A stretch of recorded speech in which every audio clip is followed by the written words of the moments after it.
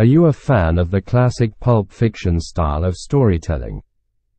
Do you crave the mystery of detective tales and the excitement of adventure stories? If so, then you're in for a treat. Dixon Kinqade is proud to present an intriguing short story of death and deceit.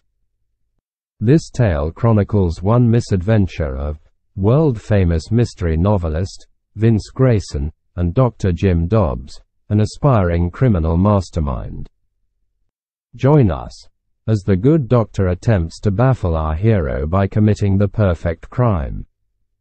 And for a limited time, customers will receive a special 50% discount on all purchases. So what are you waiting for?